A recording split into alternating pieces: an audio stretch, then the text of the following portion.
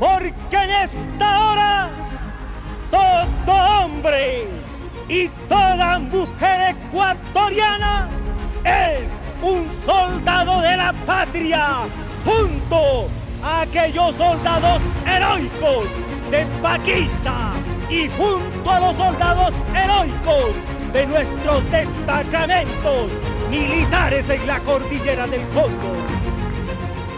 Aquí se ha reunido una expresión cabal del pueblo de nuestra patria. Y aquí venimos a hacer un doble juramento que no se excluye.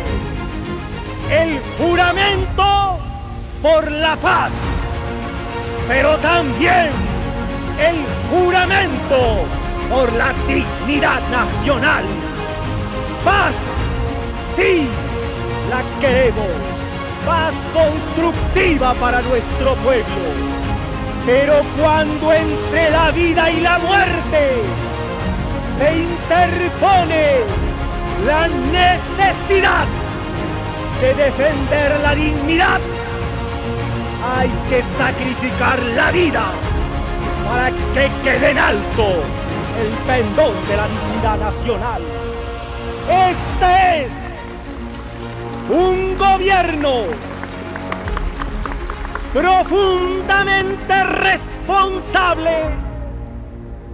de lo que tiene en esta hora histórica del Ecuador.